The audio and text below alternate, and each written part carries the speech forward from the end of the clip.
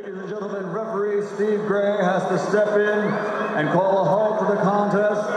The official time comes in round number three. It's two minutes, two seconds.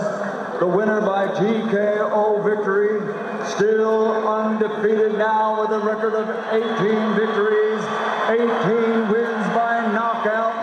Still the IBF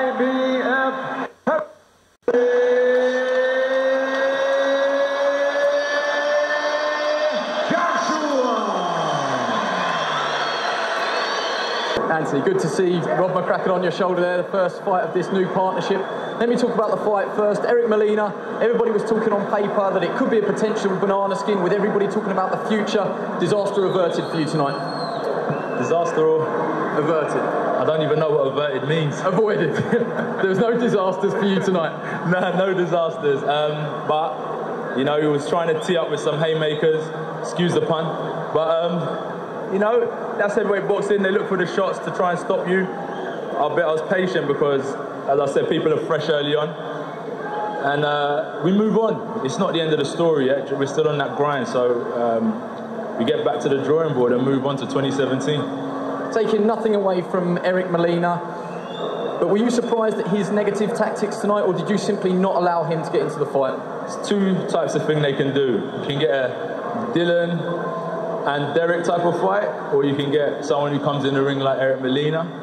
So it's hard though dealing with a negative fighter who's not giving you many options because someone who's boxing with you can give you opportunities. Someone who's waiting on the back foot, you've got to create them. So I just had to be patient and create the opportunity. So no problem. It's a style that you've got to deal with, and there'll be many more when I step into this ring. Do you feel that you've got that fear factor about you now, though, that some opponents are beating themselves before they get into the ring with 18 straight knockouts? Nah, nah, nah. These opponents, like, because I'm not one to talk, but I'm not one to mess around. But still, if I to start talking, I think they'll realise what I'm really about. But it's like that until you step in the ring with someone, you don't know what you're facing.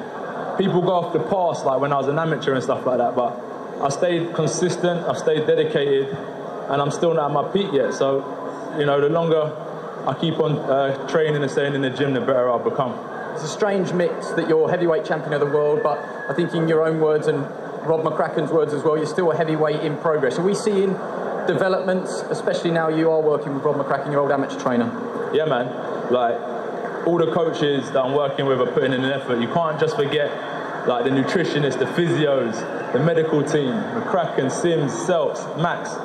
The list goes on, do you know what I mean? So everyone that's putting in work is really producing what they're seeing in the ring right now.